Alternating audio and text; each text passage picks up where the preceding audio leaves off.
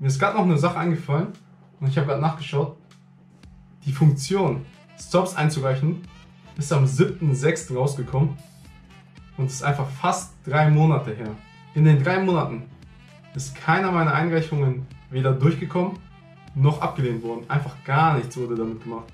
Und auch hier in München, also ich kann nicht für ganz München reden, zumindest hier im Norden, absolut gar nichts. Weder aus der Gruppe noch irgendjemand was gesagt, noch hier irgendwo ein neuer Stop aufgetaucht. Einfach kompletter Stillstand. Ich glaube, ich füge das direkt am Anfang hinzu, weil ich wüsste nicht, äh, wo das reinpasst. Jetzt äh, geht's los mit dem Video. Alter, was geht ab, Leute? Hunger. Wenn ihr dieses Video hier seht, dann bin ich irgendwo Pokémon Go zocken. Und zwar 24 Stunden lang. Ihr könnt gerne auf Facebook und Instagram vorbeischauen und das Ganze mitverfolgen.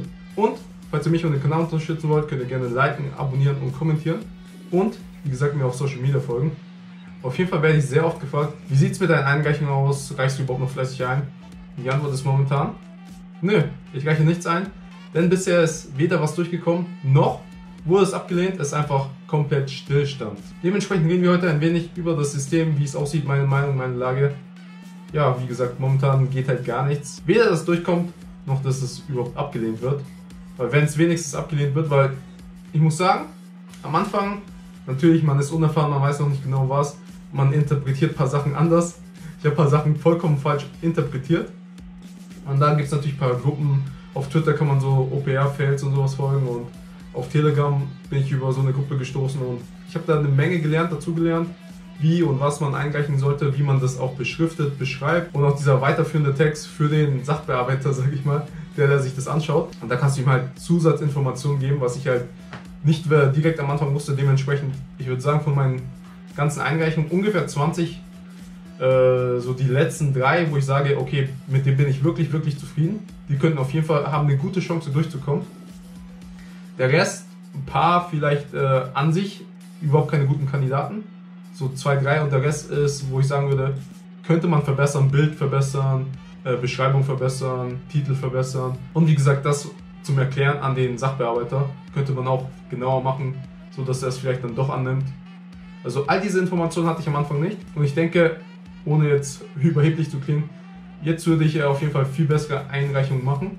Aber wie gesagt, es kommt halt nichts durch und die Motivation ist gerade überhaupt nicht da, weil halt Bewegung gleich null ist, was äh, Sachen Stops angeht. Und dasselbe Feedback habe ich auch von euch bekommen, wo einfach Stillstand ist. Das Problem ist der Stillstand. Nicht, dass irgendwie zu viel abgelehnt wird oder alles grundsätzlich abgelehnt wird.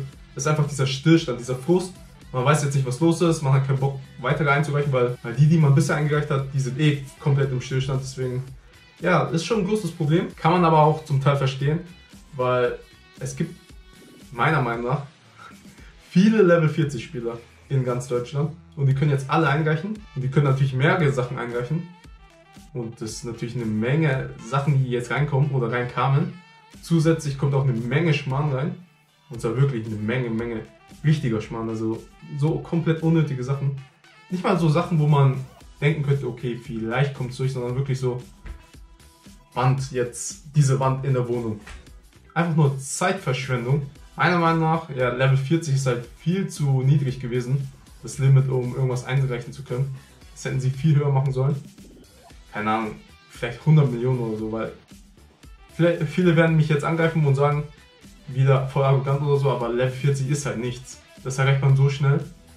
20 Millionen ist halt wirklich nichts und das sieht man auch an den Anrechnungen, was für ein Schmarrn da durchkommt, weil jeder 0815 Spieler Level 40 ist. Ist halt einfach so, tut mir leid.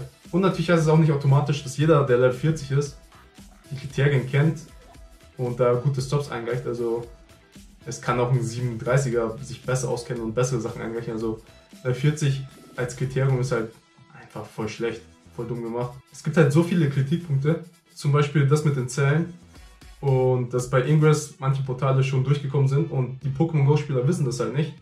Und ja, man kann es halt nachschauen und so, aber wie gesagt, das habe ich am Anfang schon gesagt, die wenigsten machen das, die reichen einfach ein.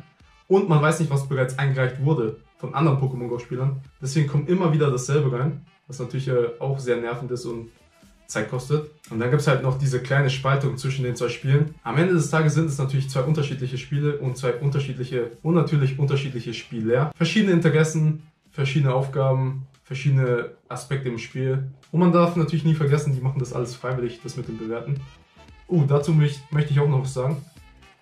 Äh, wie, wie sage ich das am nettesten?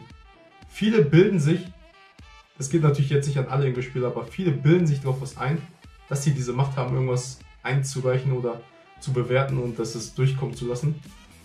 Zum Beispiel habe ich mal ein paar English-Spieler gedisst in einem Stream und dann hat einer geschrieben, ja Hong, du musst dankbar sein, ohne die hättest du deinen Stop nicht.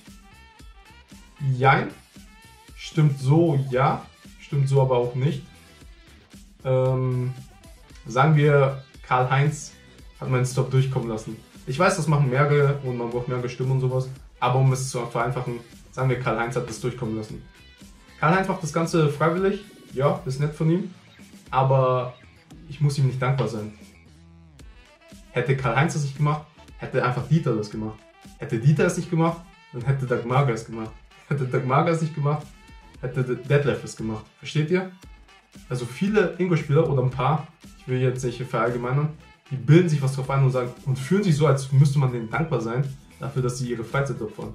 Ist zwar nett von euch und ganz cool, aber wenn ihr das nicht macht, macht es halt ein anderer. Und wenn der das nicht macht, dann macht es ein anderer. Und wenn der das nicht macht, dann muss endlich sich irgendwas Besseres einfallen lassen. Also schon eine coole Aktion von euch, aber ihr seid nicht Gottes Geschenk. Wir müssen nicht eure Füße küssen dafür, dass ihr ein paar Portale bewertet. Und wie gesagt, das geht jetzt nicht an alle, sondern nur an die, die sich einen drauf einbilden, Portale zu bewerten und dass man den, den Hintern küssen sollte dafür. Man hört zum Beispiel auch, dass English-Spieler, das kann ich jetzt nicht so ähm, bestätigen, man hört das nur so, die Straßenmunkeln, ähm, komplett alle Pogo Einreichungen einfach blockieren und da gar nichts machen oder einfach grundsätzlich ablehnen, weil Pogo, weil die können das unterscheiden und Pogo braucht halt noch dieses zweite Bild und wenn die direkt sehen, zweites Bild, lehnen die das sofort ab. Äh, kann ich so nicht bestätigen, erzählen ein paar so. Wie gesagt, eigentlich gibt es keinen Grund, dass English-Spieler Pokémon Go-Spieler hassen und das Spiel uns sozusagen vermurkseln wollen. Aber am Ende des Tages ist es halt doch so, dass English Einreichungen immer noch konstant durchkommen und Pogo-Einreichungen eigentlich bei den meisten einfach im Stillstand ist. Und das ist ja die Beta-Version, also hoffentlich äh, fällt Niantic da noch irgendwas Besseres ein. Auf jeden Fall zu meiner Situation, ja, ich habe viele Sachen eingereicht, wahrscheinlich auch viele schlechte und eigentlich erwarte ich, dass die meisten abgelehnt werden. Und durch die neuen Erfahrungen würde ich dann viel bessere Sachen einreichen. Aber dadurch, dass es momentan im Stillstand ist, reicht einfach gar nichts ein, weil passiert einfach nichts. Also wenn, dann würde ich wahrscheinlich davor eher noch einen Ingo-Spieler nochmal hierher holen oder da nochmal ein paar Sachen einreichen lassen. Und das kommt wahrscheinlich eher durch, als dass da bei Pokémon Go irgendwas mal in die Gänge kommt. Abschließende Worte. Ich hoffe, das System verbessert sich noch, aber falls ihr was einreicht, also erstens nicht aufgeben, so wie ich. Ihr könnt gerne noch weiter einreichen. Aber macht es wirklich äh, sorgfältig. Reicht nur gute Sachen ein, reicht nur Sachen ein, die. Am besten macht eure Hausaufgaben, schaut nach, wurde das schon eingereicht. In Ingress ist es schon ein. Ist schon ein Portal oder nicht? Zellentechnisch ist da noch Platz für einen Stop und so weiter und so fort. Gute Beschreibung. Gebt euch Mühe und weniger von dem ganzen Müll. Dann sind die Ingo-Spieler auch nicht so sauer auf uns. Und Ingo-Spieler, chillt mal eure Eier, bildet euch nicht so viel darauf ein. Wie gesagt, das geht jetzt nicht an alle. Und lasst uns zusammen in Frieden leben. Es sind halt zwei verschiedene Spiele mit zwei verschiedenen Aspekten und in Pokémon Go wird halt Masse bevorzugt.